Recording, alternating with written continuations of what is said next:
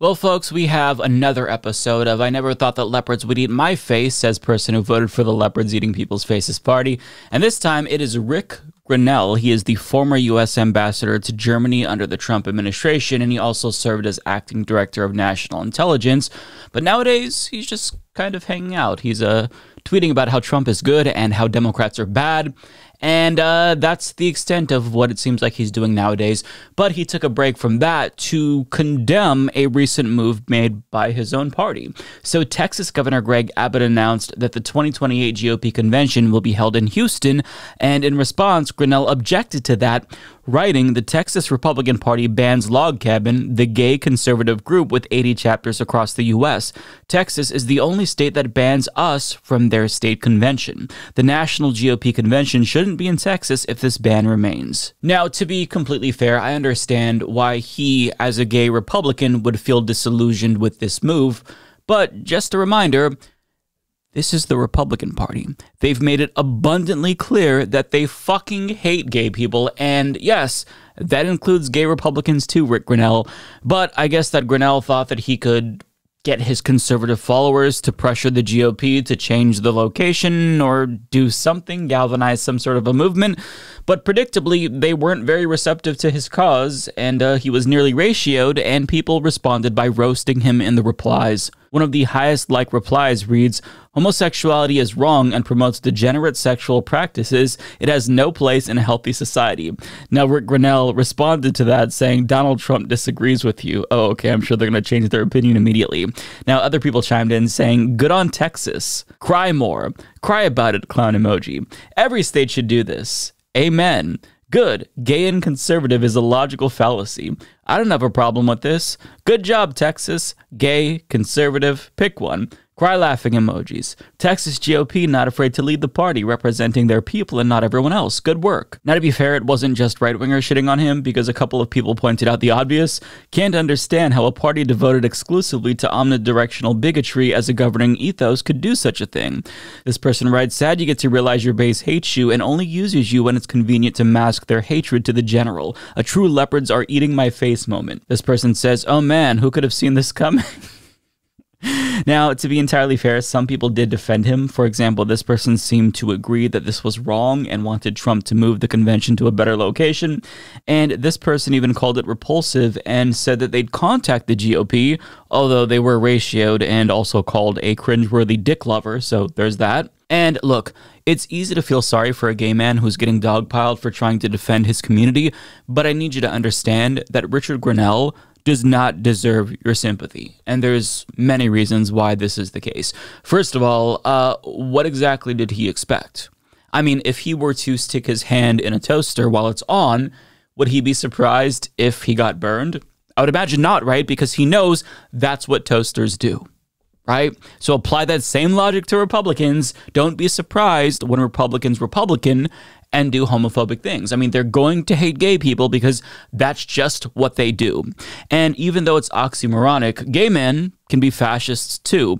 And Richard Grenell is indeed a Trumpian fascist, and he's trying to advance gay rights within the Republican Party by throwing trans people under the bus. For example, some of the people in his replies speculated that the log cabin Republicans were being banned because they supported trans rights, but Rick Grenell actually responded to that, confirming that gay Republicans also hate trans people just like cis Republicans, writing, Log Cabin leads the way for protecting kids and calling for no hormone blockers or gender surgeries for anyone under the age of 18 and no biological boys and girls sports. You just hate gay people and it's weird. Yeah, so there's also that. Now, I'm assuming that the irony is completely lost on him, but he probably actually is deluded enough to believe that being explicitly transphobic is going to further ingratiate him with Republicans and their base, but in actuality, that's not going to happen, and he's just being bigoted to trans people. Now, as a gay man, that's especially weird to me because the source of transphobia and homophobia is one and the same, right? If you're born with a penis, you are supposed to act masculine and be attracted to women and wear men's clothes and identify as a man. But gay people and trans people both violate those rigid gender norms, which the Republican Party's evangelical base tries to enforce. So it's illogical to think that they'd be okay with one, but not the other. It's all degeneracy according to them. And you're not going to advance your own cause by throwing some members of your community under the bus, Rick. But he doesn't care or doesn't understand that. Now, this speaks to a broader problem with LGBTQ plus conservatives. They try to ascribe a certain level of rationality to transphobic and homophobic Republicans, and they think that if they do that, then they could win. They could win these people over with facts and a good enough argument. But I mean, I feel like there's so many examples to demonstrate that that doesn't work that um, they should know this by now. And furthermore, having a good enough argument isn't going to win someone over who believes that their God thinks that what you are doing, your identity, your existence, is bad. But that doesn't stop LGBTQ plus conservatives like Caitlyn Jenner, for example, from trying again and learning the hard way every single time. So Caitlyn Jenner, for example, was ratioed after she angrily tweeted this to Ron DeSantis. Hey, Governor Ron DeSantis, watching your interview on Bret Baier, you're still defending your bizarre anti-gay ad. Which bathroom should I use? Now, let's just pause right there. First of all, let me just say it's very brave of her, we'll phrase it that way, to ask a Republican fascist this particular question. But I mean, she thought that this was actually an easy answer to them because she followed up with this tweet where she was also ratioed again, by the way, where she confirms that she had bottom surgery. Now, I feel like she thought that this would be a compelling argument because typically they try to base bathroom use and norms on genitals. So it makes sense, logically speaking. But these folks, don't use logic. It's just pure unadulterated hate, right? So, of course, they didn't care and they proceeded to roast the absolute shit out of her, writing in various ways that she should use the men's bathroom. And again, I don't know what she expected. It's like LGBTQ plus conservatives are suckers or maybe they're masochists and they enjoy the humiliation. But what I always find really fascinating is how, whenever a queer conservative falsely claims that the Republican Party is actually tolerant, Republicans then loudly respond saying, No, the fuck, we're not.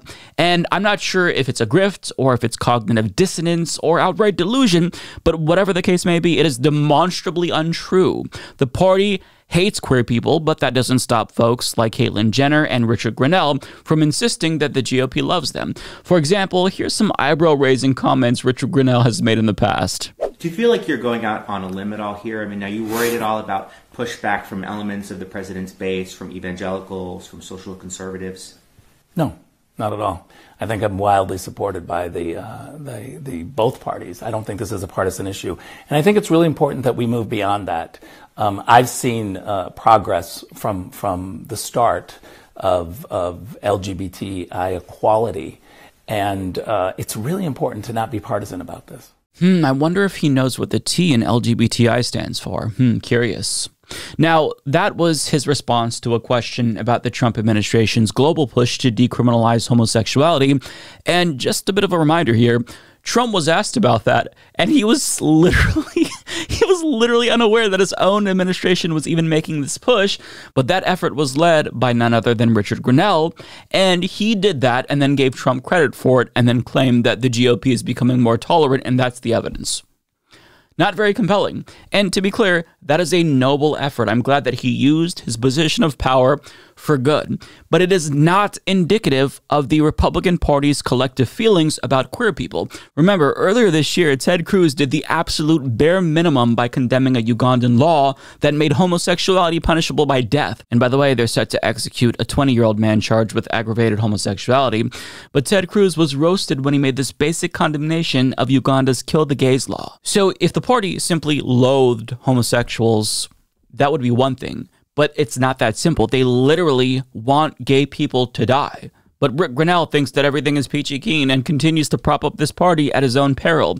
But at a Trump Pride event in 2020, which I'm assuming he also organized, he explained why he's just not going to give up on the Republican Party, even though they want nothing to do with him. I sat in 1992 in Houston, Texas, and I watched as the Republican National Convention in Houston, Texas, had a speaker by the name of Pat Buchanan. And Pat gave a speech that basically said gays and lesbians were not welcome in the Republican Party. I vowed that day to stay in the Republican Party and to change that. And the reason why is because the Republican Party is the party of less government and more personal responsibility. It is the party of conservatives that says, mind your own business.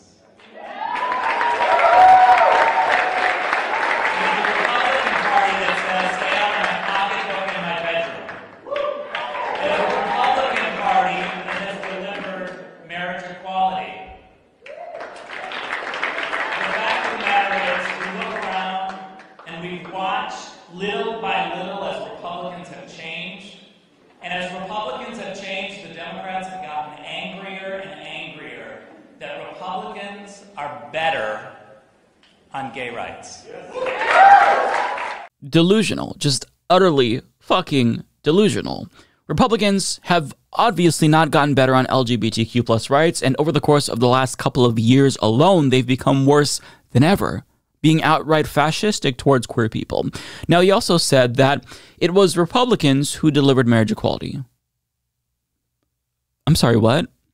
Where did you get that from? What reality were you living in when that happened? Because if you'll recall, the Supreme Court was the one in a 5 to 4 decision that voted that gay marriage bans were unconstitutional. But maybe his logic is that, well, see, during that time, Chief Roberts, a conservative, was the head of the court, and even though he voted against it, we still get this W.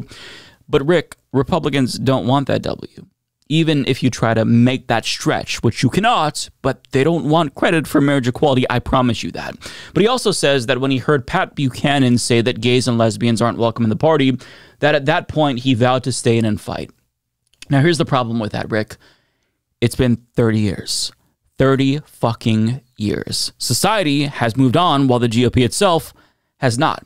Now, there's a reason for that, and he knows the reason for that. It's because this is a zero sum game, right?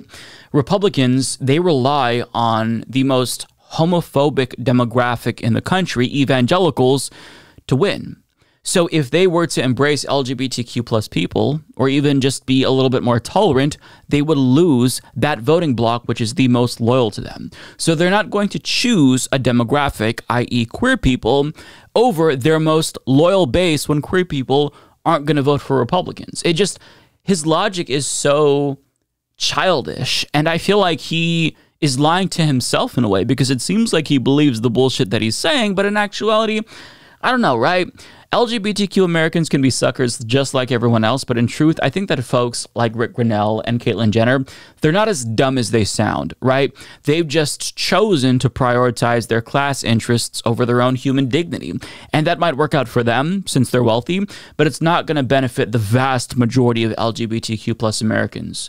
So in conclusion, the Republican Party indeed still hates gay people with a passion, and I feel like that's pretty obvious.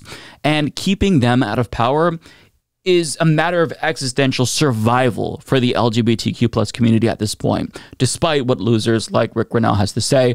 But I feel like I don't really have to convince you all because anyone with a brain can see that that is obviously the fucking case. Play stupid games, prizes. Play stupid games, win stupid prizes. Play stupid games, win stupid prizes. Play stupid games. F around and find out. Prizes. Play stupid games, win stupid prizes. Play stupid games, win stupid prizes. Play stupid games, win stupid prizes. Play stupid game, game, game, game. Pride. Trans rights are human rights. It is necessary to push trans on the kids. Pride.